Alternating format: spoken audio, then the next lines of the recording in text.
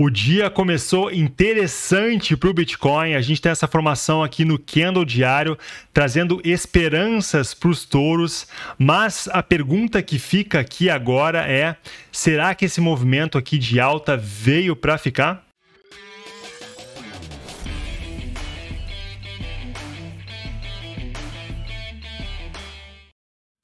Bom, vamos lá, pessoal. Vamos entrar aqui no Price Action, vamos dar uma olhadinha que está acontecendo. Primeiramente, pedir desculpas para vocês. Eu queria postar o vídeo bem mais cedo hoje, só que eu tive um problema técnico aqui com o OBS. Fui plugar o computador em outro monitor, desconfigurou tudo aqui. Eu até lembrar como configurar aqui o OBS, perdi quase duas horas aqui, né? Então vamos dar uma olhada aqui no Price Action Bitcoin. Primeiramente, pessoal, bom, aqui um, né, um sinal legal aqui para o Bitcoin. A gente teve esse, esse candle aqui diário que não fechou ainda, né? Importante lembrar que não está fechado. É, e aqui quase engolfando, né? Engolfando esses, esses dois últimos dias, né? Isso aqui é interessante. Mas, pessoal, um, um alerta importante para vocês aqui, tá? Que ficar bem atento aqui, é, para a gente poder acreditar nisso aqui no movimento de reversão de tendência, na minha opinião, a gente tem que ficar atento com o volume aqui, tá? E o volume não tá muito interessante, na minha opinião, não tá um volume de reversão aqui, tá? Eu gostaria de ver um volume muito maior, parecido com o que a gente viu aqui, por exemplo, em, em maio, aqui, ó, né? Ou, até mais acima que, que tem aqui em junho, mais ou menos, dia 20 de junho, tem um volume até interessante, tá? Para mim, o volume tá bem baixo aqui ainda, então eu gostaria de ver um volume bem, bem mais interessante e também mais liquidação, pessoal. Liquidações são, são, são tão, tão bem pequenas ainda, tá? Eu acho que as baleias estão caçando Bitcoin aqui agora. Então elas vão começar. É, pessoal, é, não dá para deixar uh, trade aberto aí muito longo, não, tá? Trade curto aqui e não botar a mão muito. Uh, não botar mão muito. Uh, digamos assim, não botar muita a mão muito pesada, tá? E botar alvos curtos, porque o Bitcoin está bem, tá bem perigoso mesmo. Vou comentar para vocês um pouquinho mais aqui adiante no vídeo, tá? Então, pessoal, antes de entrar aqui no intradiário, vamos olhar o... Aqui eu quero comentar para vocês uma coisa importante dessas médias aqui, né? A média de 50 semanas, na verdade, que o Bitcoin agora essa média que era um suporte, ela pode virar uma resistência para o preço, tá? E essa média aqui, ela está na região dos 32.300 dólares, mais ou menos, tá bom? Então, essa aqui vai ser a resistência interessante para a gente ficar atento aqui agora, tá? Se Bitcoin romper essa resistência, eu vou começar a ficar aqui é, mais otimista com o preço. Vou comentar para vocês também no treino diário, é uma região, é uma região interessante de ficar atento. Pessoal, se a gente conseguir fechar a semana aqui acima dessa região dos 32.300, tá? Eu vou começar a ficar mais otimista para o preço, pelo menos para a gente ver aqui uma, uma, uma, um respiro do Bitcoin, ó para essa região de Fibonacci, que é a região de 50%, tá? Então, topo aqui, ó, essa região topo até o fundo, região de 50% aqui de Fibonacci, seria essa região aqui dos 47 mil dólares mais ou menos, tá? Então o Bitcoin poderia buscar isso aqui, uh, ter um respiro, tá? Mesmo que a gente for, se a gente for entrar aí num, num, num, possível bear market, que, que eu não acredito, na verdade, a gente poderia ter pelo menos um respiro do Bitcoin, é isso que eu espero, tá bom? Então seria um respiro de 50%, 50% mais ou menos aí na região lá dos 47 mil dólares, tá bom? Por quê, pessoal? Se a gente, a gente olhar aqui a história do Bitcoin, né? Essa média é uma média interessante, sempre, sempre o Bitcoin tem um suporte nela aqui, por exemplo, em 2018, a gente teve aqui então 50%, né? O preço subiu subiu depois de ter suporte. Depois que ele rompeu para baixo, fechou aqui a semana aqui abaixo, ó, a gente tem um fechamento da semana aqui abaixo, daí sim o preço começou, né, e virou uma resistência mesmo aqui, ó, essa, essa média, né. E se a gente olhar também que 2014, também em abril de 2014, ó, a gente teve aqui também o, essa, essa, essa, essa média aqui de 50 semanas foi um suporte importante, o preço subiu aqui 60%, é, por cento, tá. Então, pessoal, esse é um ponto importante de acompanhar. É a região dos 32.300 dólares aqui, mais ou menos, tá? É bom ficar atento. Vamos entrar aqui no intra, intradiário para dar uma olhadinha aqui, então, o que a gente pode esperar do Bitcoin. Nem, nem vou usar esse gráfico que está totalmente poluído aqui para mim, para meus meus trades aqui, tá, pessoal? Vou fazer um, usar o gráfico um pouco mais, mais simples hoje, tá? Vou mudar para o gráfico aqui de 4 horas. Antes de mais nada, pessoal, pedir para vocês, se vocês estão gostando do conteúdo, não se esqueçam de deixar o like aqui no canal, tá? Compartilhe e também esse vídeo com seus amigos. Se inscreva no canal canal e ative todas as notificações para você não perder nenhum vídeo, tá? E também, pessoal, tem aqui ó, a Prime SBT que está apoiando o meu canal, estão dando 20 mil dólares, né?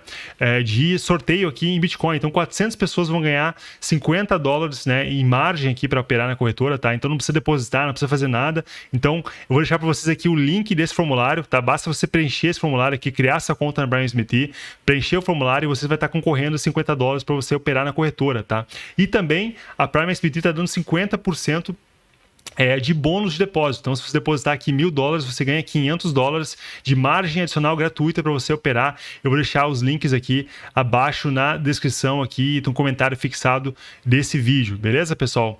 Então, vamos olhar aqui agora no o, o intraday aqui do, do, do, do Bitcoin, aqui a gente pode esperar aqui agora do Bitcoin. Então, pessoal, para mim, essa região aqui dos 32 mil, ó, 32.300, 400 mais ou menos, ó, que eu comentei para vocês que é a média, inclusive, do, a média de 50 hum, semanas, né?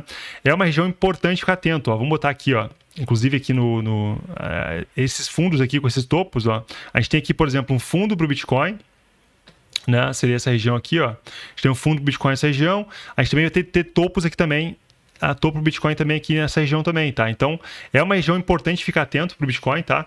A gente rompendo isso aqui para cima, a região dos 32.300 mais ou menos, eu vou começar a ficar aqui, ter uma experiência legal, né? Vamos puxar também o VPVR para ver se a gente consegue encontrar aqui níveis interessantes. Agora que o Bitcoin está rompendo uma, uma região de resistência interessante, ó, a região dos 31.800 mais ou menos, é uma região interessante para o Bitcoin romper, mas vou começar a ficar aqui mais confiante, pessoal, tá? A gente rompendo a região dos 32.300, mas para mim mesmo mesmo aqui, se a gente der um, tirar um zoom aqui um pouquinho, ó, acertar o zoom, vamos ver para onde o Bitcoin aqui tem que romper mesmo, tá? Para mim, essa região aqui dos 32.800, daí sim, pessoal, essa aqui é um nível interessante, a gente ficar bem acima aqui, tá? A gente tem os, também de novo aqui, ó, topos, topos e fundos também aqui para o Bitcoin, né, de novo, né? Vamos olhar aqui também esses, esses níveis. Então aqui a gente tem aqui fundo para o Bitcoin, né? Também um outro fundo que o Bitcoin fez, aqui topo também nessa região. Então é o nível aqui dos 32.800, interessante ficar atento. Então, pessoal, o que é importante ficar atento aqui, né? Agora é que vai ter muito caça caça liquidez nessa região, tá? É, não saiam botando aí a ordem de, de, de, compra, venda com alvo muito grande, esperando aqui grandes coisas do Bitcoin que agora, que as baleias estão mais preocupadas aqui em pegar liquidez de vocês, tá bom? Então até vou comentar para vocês aqui, uh, né, uma, aqui no, no, no, vídeo, sobre um pouquinho mais sobre essa, esses indicadores aqui, mostrar vocês, ó. A gente teve, ó, aqui no, no liquidações Bitcoin, ó, a gente teve liquidações dos dois lados, pessoal. A gente liquidou aqui praticamente, ó, né, teve aqui 50 milhões aqui de liquidação, depois aqui de longs, depois a gente liquidou aqui mais 30 quase milhões aqui de, de short, então as baleias estão interessadas em pegar liquidação, é, pegar liquidez mesmo, tá? As pessoas. Né? Nesse momento a gente pode ver que né, a gente tem aqui uma, um espaço, né, o indicador de sentimento mostrando que o Bitcoin tem um espaço aqui de subir, né? A gente tem o long short ratio numa região aqui de 1.4, também tem aqui a, né, a gente tem aqui as, os, as sardinhas aqui vendendo Bitcoin nesse momento, né?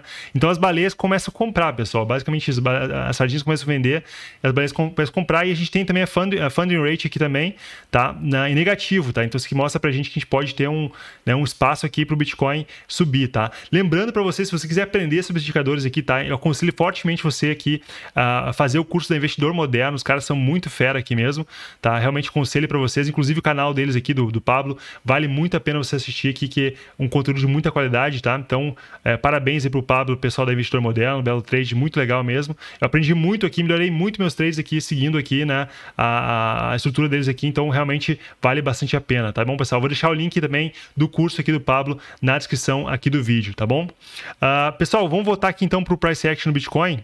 Então, meu recado aqui agora para vocês, pessoal, é muita cautela, tá? As baleias estão buscando liquidez de tudo que é lado, longo e short, né? Então não saiam aí colocando alvo muito longo, mão muito pesada, muito alavancado, porque elas vão aqui tá caçando de tudo que é lado, né? Vão liquidar short, long.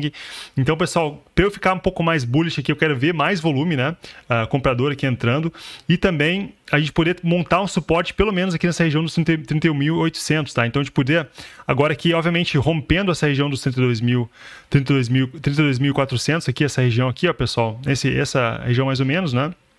A gente rompendo essa região aqui, né, ou, ou, batendo aqui, por exemplo, gente fazer isso aqui, ó, mais ou menos, né, seria uma, uma, entrada interessante, romper essa região aqui agora, como a gente está fazendo, né, é, ter uma rejeição aqui, a gente buscar aqui um suporte nessa região dos 31.800, daí a gente pode pelo menos aqui, ó, fazer um pivôzinho de alta e tentar, né, buscar níveis mais acima. Essa região dos 30, 30, 32.800 aqui, ó, vai ser um nível interessante também, tá, da gente ficar atento do Bitcoin romper, né, seria bem importante romper esse nível, porque daí, pessoal, a próxima resistência forte seria essa região dos 34 mil dólares, tá? 34, 35, 35 mil dólares, desculpa.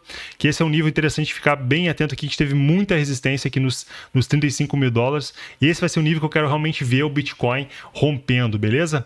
Pessoal, vamos olhar aqui então a SP500 e também o, o índice do dólar. Comentei para vocês no último vídeo sobre isso, né? Para ficar atento. Agora a SP500 aqui teve uma, né, um suporte muito bom nessa linha vermelha que eu mostrei para vocês no último vídeo, né? Então isso aqui mostra para mim né, que a gente tem uma esperança aqui com esse pequeno aqui agora, né? Vamos ver se a gente consegue fazer aqui, ó, romper essa máxima uh, anterior aqui. Inclusive, deixei um alerta aqui para mim aqui agora. Se a gente conseguir fazer isso aqui, pessoal, pode ser um sinal bem positivo, né? Já o índice do dólar, vamos dar uma olhada aqui rapidamente no índice do dólar porque aqui o índice dólar está perdendo força, né? Isso aqui com certeza é um, é, um, é um dos motivos que a gente tem aqui a SP500 também ganhando força, o Bitcoin também, tá? Então o dólar aqui está caindo também o, o índice, né? Então, pessoal, fiquem atentos aqui nesse índice do dólar, a SP500, tá? E se vocês puderem acompanhar também aqui os indicadores de sentimento, vale muito a pena também, porque para pelo menos fazerem uma entradas aqui com um pouco mais né, de assertividade. Beleza, pessoal? Então, basicamente o que eu tenho para vocês aí no vídeo de hoje foi esse, tá? Desculpa a demora, fiz aqui um vídeo rápido, tá? Então, não se esqueça de deixar o like para apoiar o canal, se inscreva, ative todas as notificações e a gente se vê aí amanhã para mais um vídeo. Um abraço.